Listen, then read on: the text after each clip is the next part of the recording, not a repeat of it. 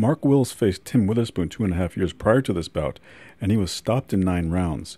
He's the classic journeyman, but his biggest victory to date was an upset stoppage win over Greg Page. Meanwhile, Tim Witherspoon returns eight months after suffering a first round knockout loss to Bonecrusher Smith. Uh, Witherspoon stated that he was so nervous that he thought he would forget every move, every punch he had tried to perfect in the gym. Then, 10 minutes before the bout, he settled down and told himself, The heck with it. I'm going to knock this guy out.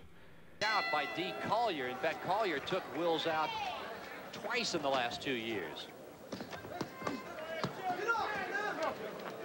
Mark Wills, uh, Chill Wills, he likes to be called, coming on very strong early. Not a surprise. This will not be your typical heavyweight, let's wait and see bout, or a punch here or punch there. There's going to be a lot of leather thrown. For the first time, these two guys faced one another back in 1985. Don King handling Tim Witherspoon at the time. It was Don King who, in essence, according to Witherspoon, uh, told him that Wills really was uh, not a very good fighter. Well, right now, Tim Witherspoon is getting off to the quick start he wanted. He's got Wills in some trouble, hurt him with an overhand right. He's going to work on Wills against those ropes. Wills trying to hold on a bit.